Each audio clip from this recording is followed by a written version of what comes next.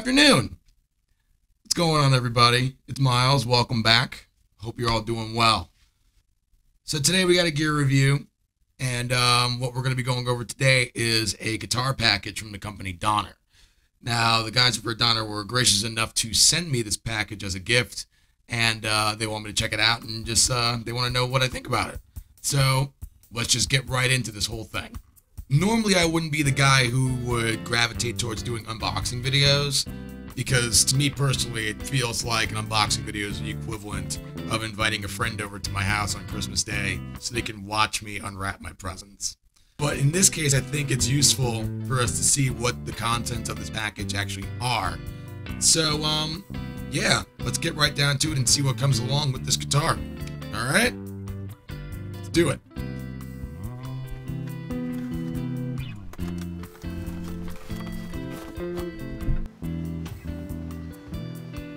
Box is a little bit messed up, but uh, blame UPS.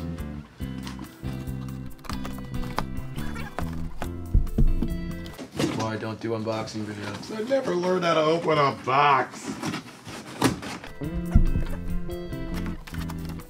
Ah.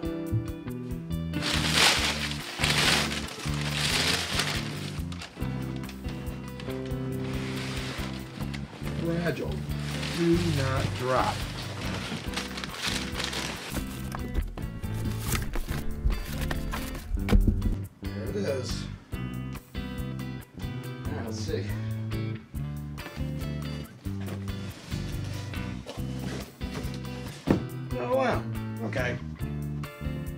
I mean that's dope. With the case. More than I can say for most regular guitars. I have. We'll go through that in a second. Um, wow. so this is the guitar amp that came with it. Perfect timbre, hi-fi headphone output, distortion effect, built-in battery, background music input, and 3 watt speaker. This thing slaps. Alright, let's see about the guitar.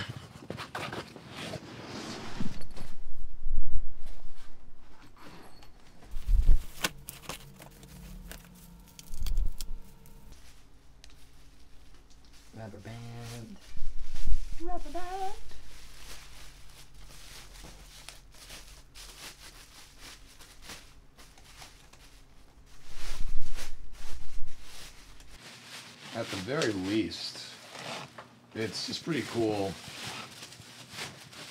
to have this sent in the mail. So we got a single single humbucker. Taped strings.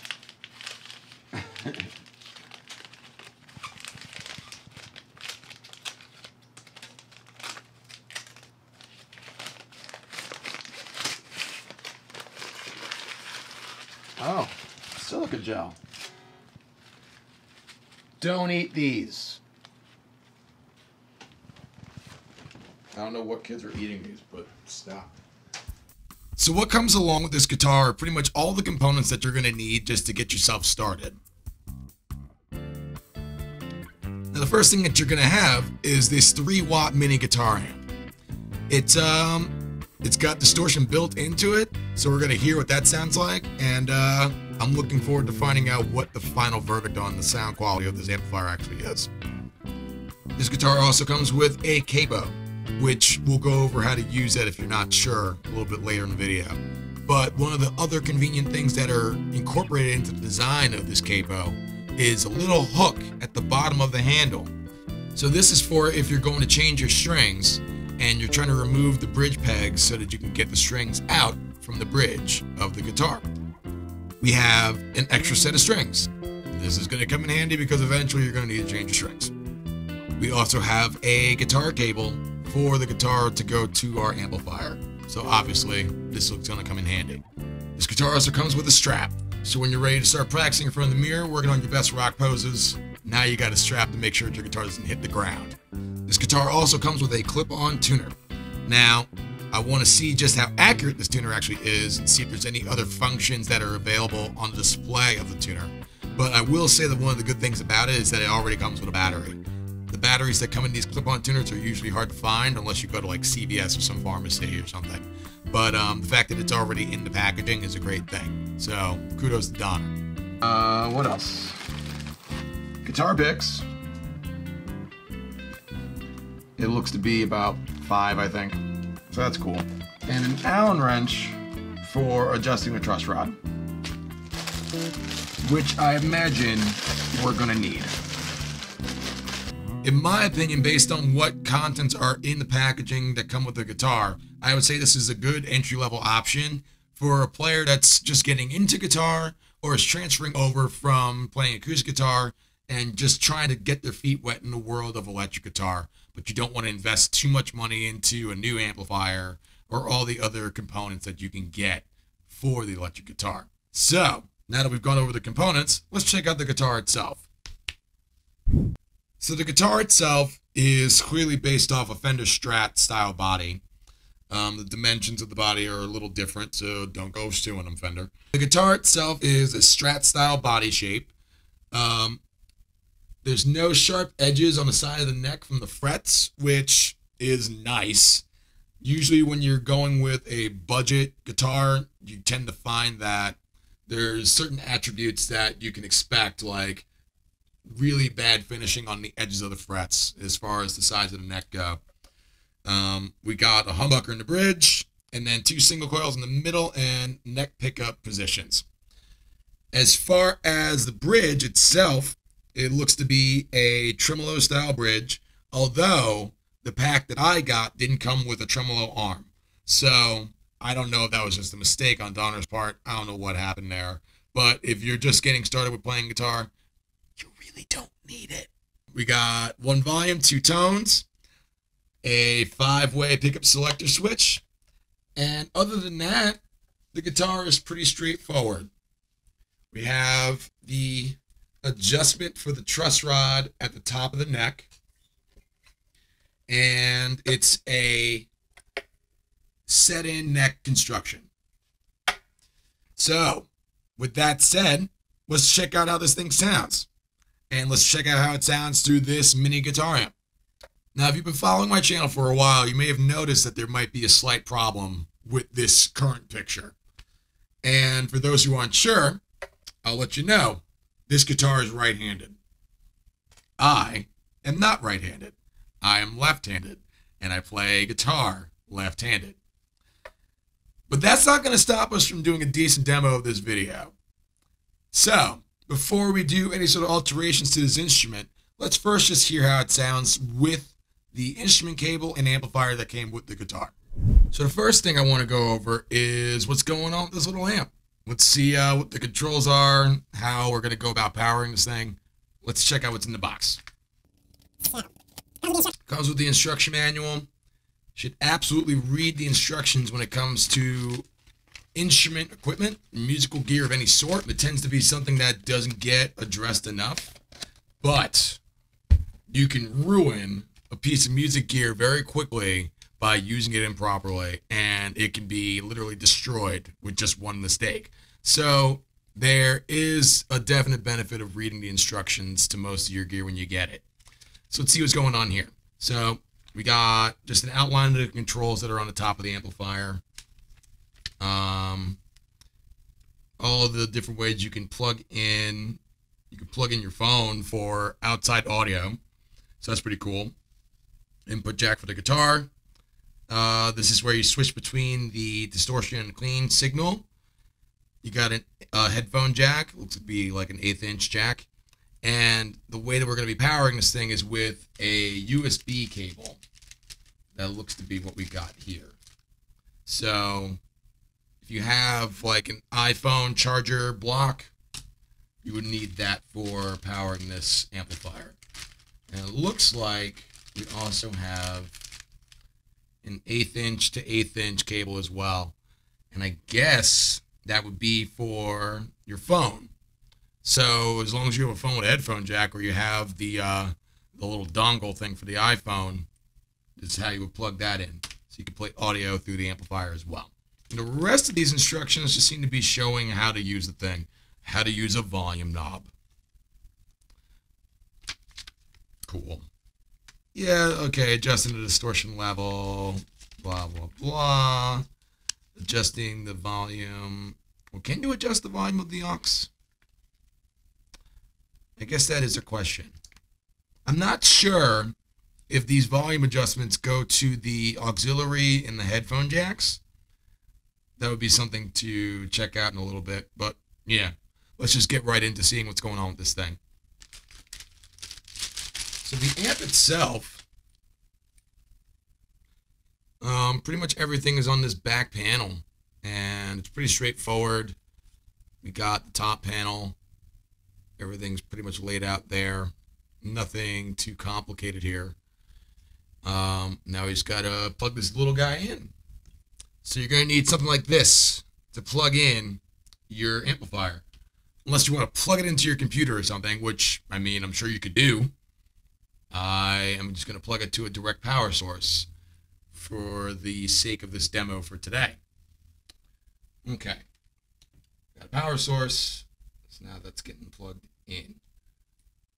Got a nice definitive red light to let you know that you got power. So that's cool. So now, take out our trusty instrument cable. Having the right angle on one side is definitely a good thing. You could plug the right angle cable into your guitar and then tuck the cable behind your strap. And so then the cable itself is not in the way of your picking hand. Or you could just simply plug it into the back of the amplifier. It's your call. All right. Cable is in. Guitar. Now, the other thing that we should also do is make sure that this tuner is reliable, which I imagine it is. I don't see why it wouldn't be. Here's a battery for the tuner. And it comes with instructions as well, but instructions in this case, like if you don't know how to use a tuner already, then you'd want to check them out. But for the most part, when it comes to a tuner, what you're dealing with is chromatic tuning, where it'll pick up every note, or you could set it to just be the notes on the guitar, or on a bass, or on a violin. And so you'll see on most tuners, you have the options to go through option C, G, or V, or even B, which is for chromatic, guitar, violin, or bass. So now you know. So we already got signal from the tuner itself. Just got to put the cap back on here. Now, if you have a guitar pick or a penny or something like that, that's how you would get this back cavity open. Now, already, I like that the tuner itself is adjustable so that you can have it uh, facing whatever way you need to. But for now, I'll just have it facing me. Now it's set to chromatic, which in this case isn't a bad thing because it's fine. It's just all the notes. As long as you know the notes that you're looking for, you're in good shape. All right. So let's go through and just check all the strings one at a time. Now, when you go to the proper pitch, it's also worth noting that the screen will turn green to let you know that you're in the right pitch. I'm tuning this guitar to E flat standard for the moment, just because I'm not sure what gauge strings are on this thing. And it's always good to just go through again, just to make sure, especially when you have a guitar with a tremolo bridge on it, because as you add tension to the strings, the springs are going to compensate and give away some of that tension because of the pulling of the strings. Okay, and the power button is right back here. Now the power button will also give you the option of going through the different settings that are available for you to choose from. So you can also use this for ukulele. But in this case, I think if you hold the power button, that turns it off. And always be sure to turn your tuner off. Don't leave it on because batteries are expensive. Now, on to the amplifier. Let's see what's happening here. Let's see how loud this thing can get. Because that's the main objective here. Just want to see how loud this thing actually is. sure. I have everything up? Aha. Now, these two knobs over here on the right side of the amplifier, they're not going to do anything unless you're on the distortion channel. And right now we're on the clean channel.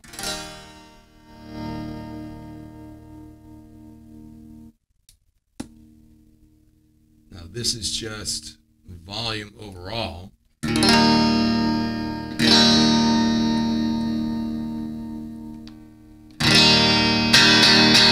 And that's honestly really nice. Like that's not too bad for an amplifier that fits on my desk. That's loud enough that you can just sit here and play.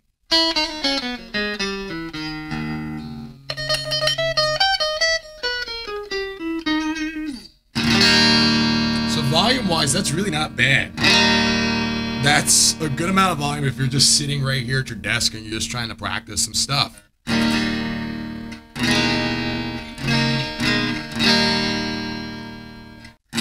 And yeah, my previous job, I had a lot of time where most of my job was just tuning all the righty guitars that were on the walls for display in the store. So I've gotten pretty good.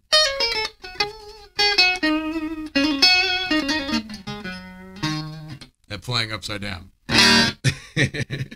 so that is our neck pickup in the combo position of the middle and neck. You get a little bit more of that sort of like John Mayer dancing, slow dancing in a burning room sort of sound.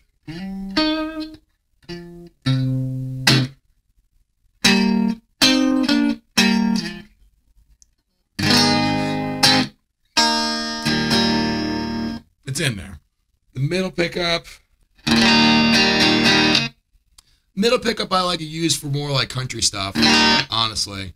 Um, it's just got that sort of twang to it, almost like a Tele style sound. The position between the middle pickup and the bridge,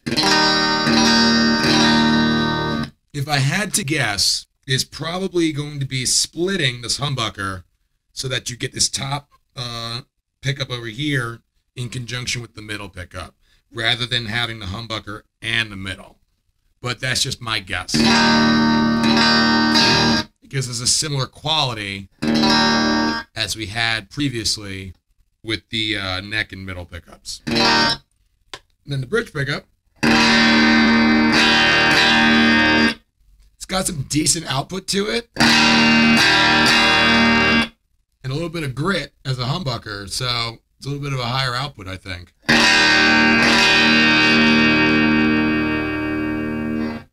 But now, the moment that we've all been waiting for. Let's see about the distortion. Oh, yeah.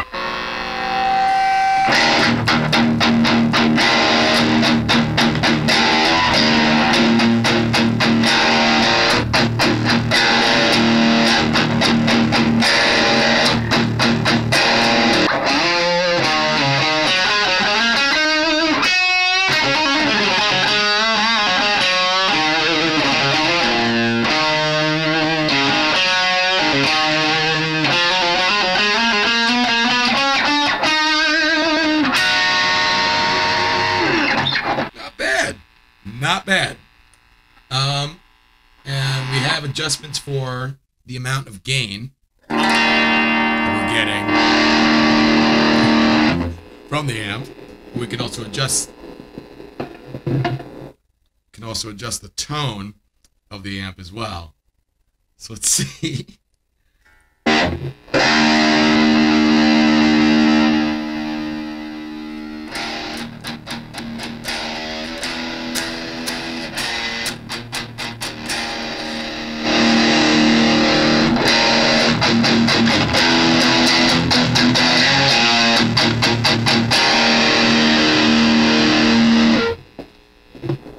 So honestly, this amp already, I'm like sold on it.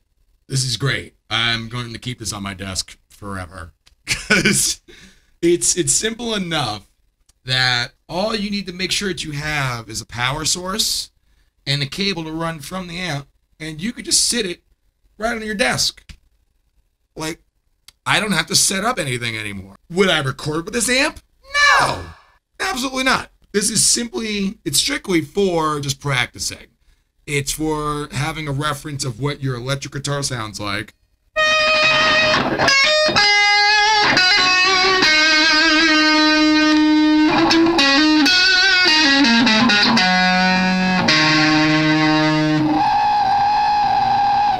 Within a realistic, uh, small enough capacity that you can just have it on your desk. Um, now it's a little noisy.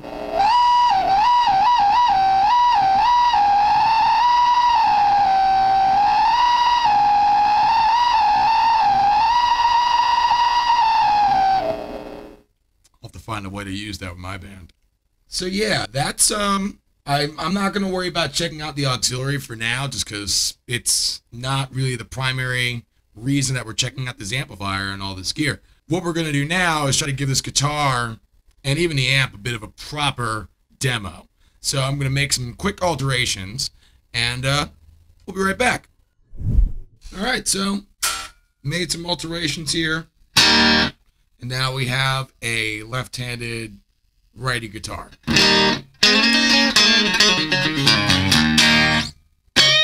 You know, honestly, so far,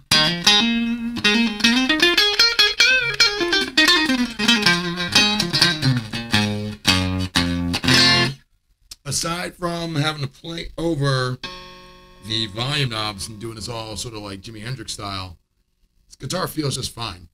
And I don't have any issues with it at all. And again, this amp is nice and loud. I didn't do anything really in regards to altering the guitar itself in order to make it into a left-handed model. The only thing I really did was just switch out the nut. I'm going to be swapping out the guitar strings that came on the guitar itself.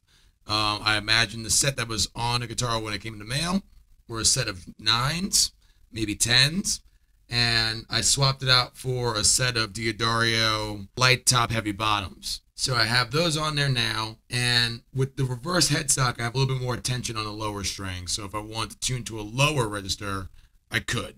I'm not going to, but if I wanted to, I could. In addition to that, I swapped the nut at the top of the neck so that now it's fitting the lower strings on this side of the neck as opposed to where it was previously with the thickest hole, the thickest opening being on the opposite side of the neck. And other than that, I made some slight alterations to the height of the saddles on the bridge. But other than that, the guitar is the same guitar that it was when it first came out of the box.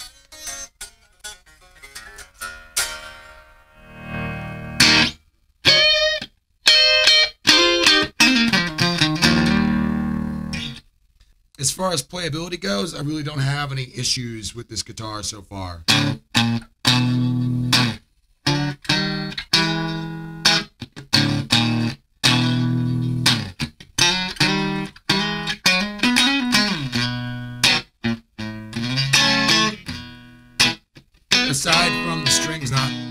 Completely in tune just yet, so let's put them on. I really don't hear anything that's too problematic with this guitar, especially considering that its sole purpose is just to be playable for whoever is sitting down with it and playing it. The tuners on the guitar are pretty accurate. They were they're responsive and they hold their tuning pretty well.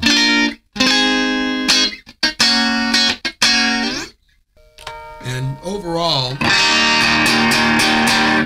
the pickups on this guitar are nice and responsive. And I don't have any issue in that regard.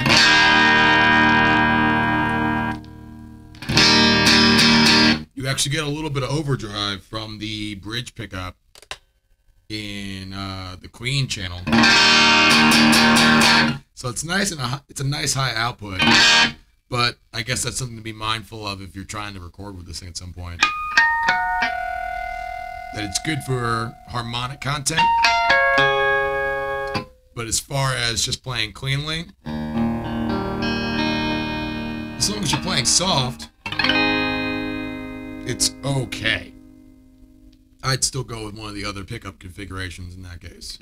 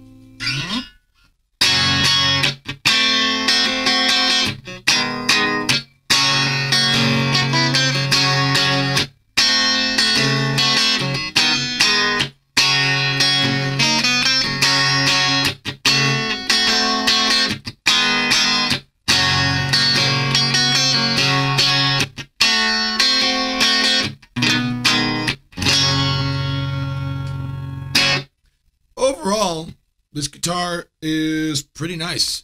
It's uh it's it feels like an entry level guitar and even with that said, the neck feels nice and comfortable within my hands. It doesn't feel super duper awkward. The only awkward quality to this guitar is the fact that I'm playing it upside down. That's a pretty meaningless factor in regards to the playability of the guitar. Because if I could play it upside down and still sound just fine, that says a lot about the instrument. Although I will say Donner should probably consider making a lefty model of their guitar. Just saying. Now, the other thing that we didn't really talk about previously is the capo that comes with this guitar. Now, for some of you out there that are going to be going on ordering this kit, you're going to be curious as to what to do with a capo for your guitar. And the answer is fairly simple. Basically, what a capo does, it shortens the length of the string from the point of the top of the headstock to where it meets down at the bridge. And so what that does, it essentially allows you the ability to play the guitar as if you had a finger down like you were playing a bar chord. So what would be your E chord in root position if you were to play with a capo anywhere else on the neck of the guitar and play that chord, it allows you to use the same finger pattern. So, if you're playing something that's in a standard tuning, E flat or E standard, whatever, and you want to take that same sort of playability of what you're playing in that tuning, but move it to a different key, that's what you would use a capo for. So, for example,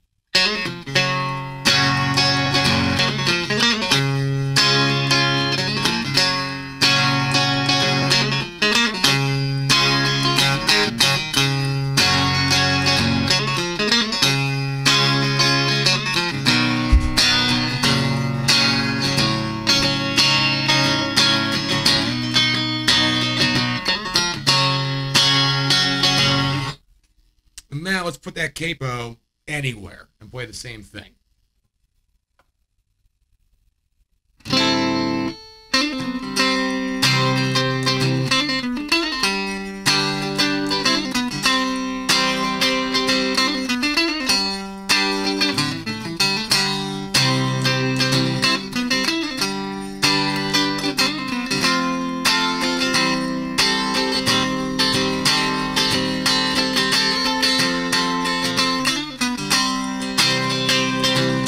That's what a capo does. And what's great about the construction of this capo is that you can easily just clamp it down and then slap it on the neck of the guitar wherever you want to position it.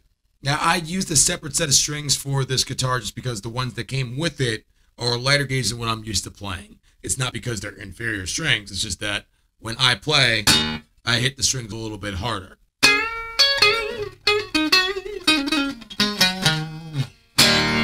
Now, as for the distortion channel on this amp, so the distortion channel is great as long as you're uh, not being too crazy about it, I guess. Unless you want to be. But in which case, you'd want to be using the humbucker pickup for like the super duper loud volume crazy distortion. Because what can happen if you're using the single coils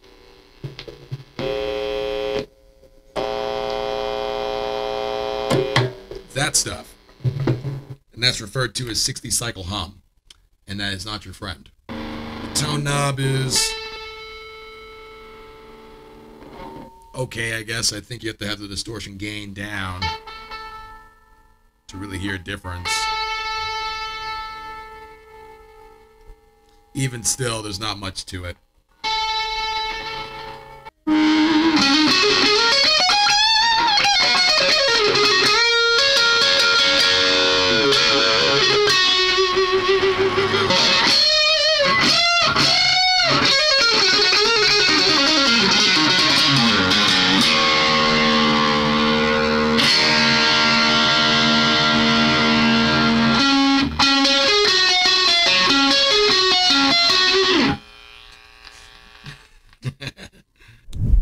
In the market to get yourself an electric guitar, but you're not looking to spend a lot of money, or if you're trying to figure out a good gift idea for a niece or nephew, or if you're just simply trying to dip your feet in the world of electric guitar, the Donner DST combo pack is definitely a good option. You get a fully functional guitar, you get a fully functional and incredibly loud amplifier that takes up about as much space as probably my headphones do on my desk. And you have that along with the guitar picks, extra strings, strap, uh, capo, a Allen wrench to adjust the truss rod if you need to do so, and pretty much everything that you need to get yourself started and to get yourself acclimated and make it easy for you to decide if you want to upgrade to other guitars in the future. And all for the incredibly reasonable price of $132 as retailed on their Amazon site. So look them up. I will leave a link down below for this guitar and this combo pack. I thank you guys for checking this demo out. I will be seeing you soon. If you're not following me on social media already, feel free to do so. If you like what I'm doing on this channel, consider going over to my Patreon page and supporting me over there. And other than that, I will see you guys next time. Stay well, keep playing. Peace.